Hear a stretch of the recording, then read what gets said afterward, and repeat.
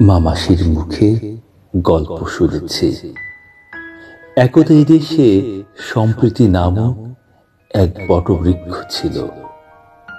জ্যৈষ্ঠের খরতাপে স্নিগ্ধ ছায়া দিত।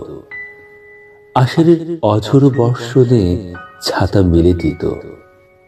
কোটি কোটি মানুষ পরম মমতায় বৃক্ষটি বুকের গভীরে জাপটে রাখত।